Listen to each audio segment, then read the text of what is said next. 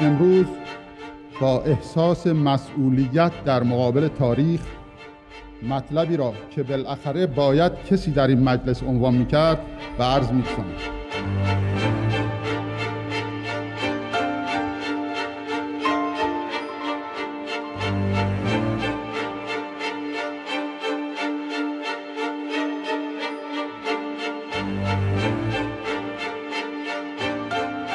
در جلسات عمومی بحث کنیم و ببینیم آیا ولایت فقیه که از نظر اصل مورد قبول است چطور باید تنظیم شود.